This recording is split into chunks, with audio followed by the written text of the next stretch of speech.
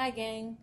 Today we're going to do a quick review of uh, states of consciousness and substances that alter your consciousness, um, just to get clarity between what they do and what's legal and what's illegal in each category. First category, depressants. What they do for you is slow everything down.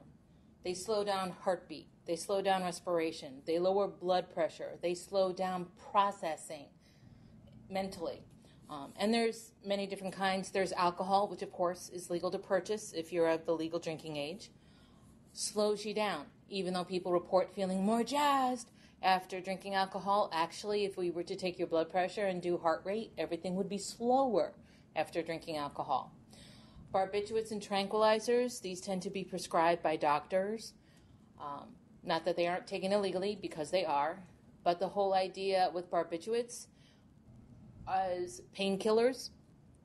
Um, for example, if you've ever broken a bone, been screaming in pain, and have been given something called fentanyl, all of a sudden the pain goes away.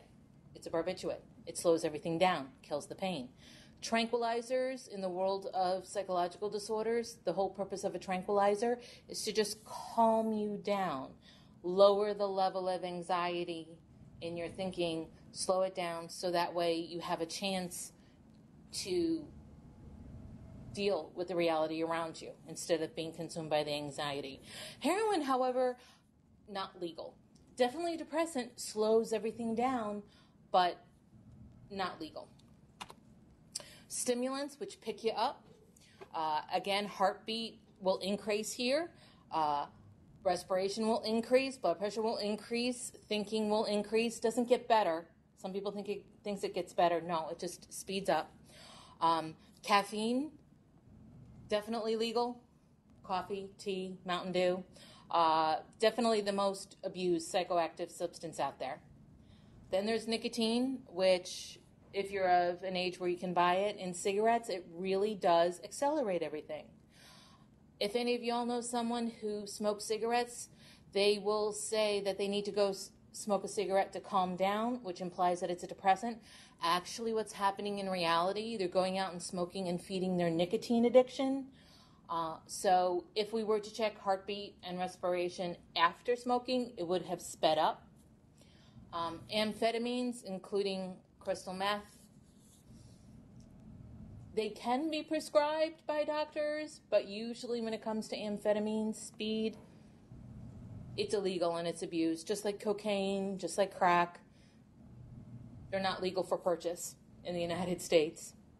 Now, the last group, hallucinogens and hallucinogens, what you have is an alteration in perception.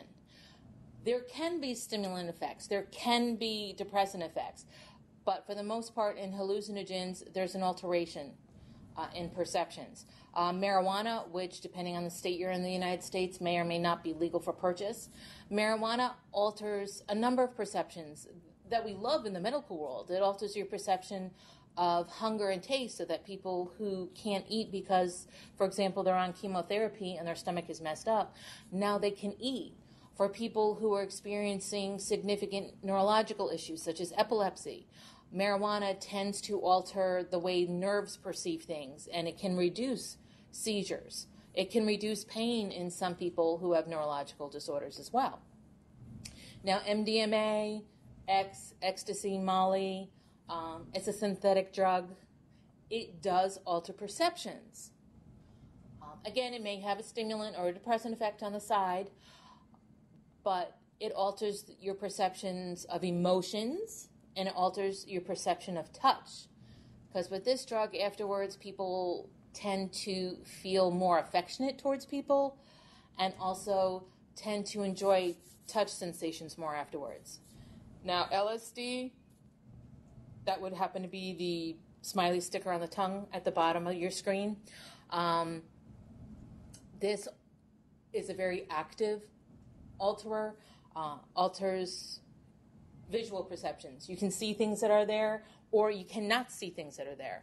It can alter auditory hallucinations. Um, in terms of seeing things, excuse me, not seeing, in terms of hearing things that aren't there, or not hearing things that are there.